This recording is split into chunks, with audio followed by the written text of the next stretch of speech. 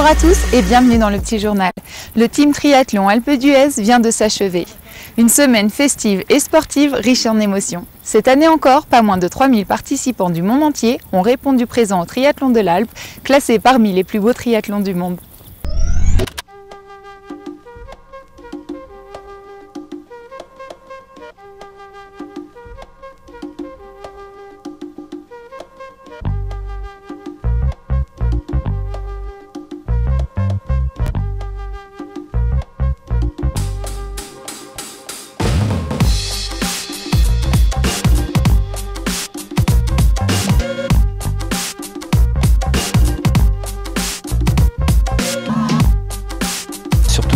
On était, on était complet. On a augmenté nos- le, nombre de participants sur le, triathlon longue distance, sur le duathlon avec une très très belle épreuve.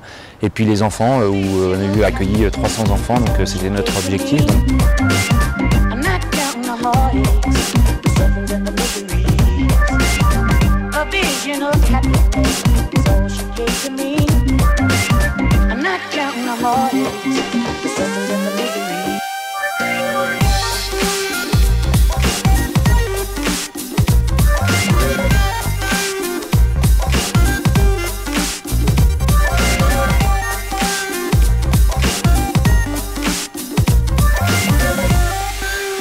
Sur l'ensemble de, la semaine, on a accueilli euh, 3100 participants. Donc euh, c'est notre record. On était tout le temps aux alentours de 3000. Là, on a passé la barre des 3000.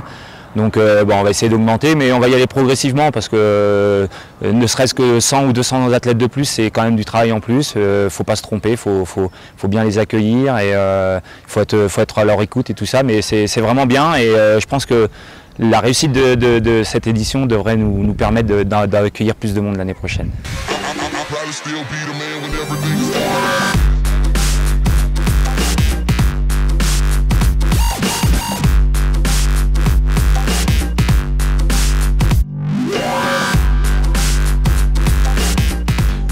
Euh, c'est intéressant, c'est un peu, un peu stressant, c'est mon premier triathlon. Un peu, je crois que j'ai pas choisi le plus facile. Euh, mais voilà, j'ai envie de me faire plaisir et découvrir un nouveau challenge et, voir jusqu'où on peut aller et, et montrer que finalement la Formule 1 c'est aussi un sport.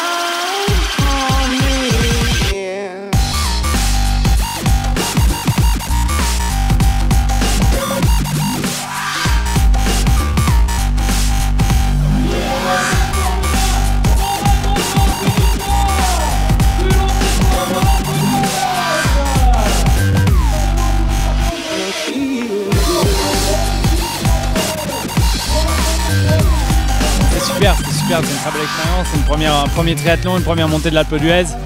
Je m'en suis pas trop mal sorti sur la natation. Après, j'ai vraiment profité du vélo avec des paysages extraordinaires. La montée de l'Alpe d'Huez, les 21 virages, genre les 6 premiers, c'est une horreur. Mais après, c'est top. Et puis la course en altitude, ça allait jamais être simple. Mais, euh, mais je suis plutôt content, j'ai doublé pas mal de monde. Donc je pense qu'entre le, moment où je suis parti et le moment où j'ai fini, j'ai dû gagner pas mal de positions. Euh, donc ça, c'était sympa.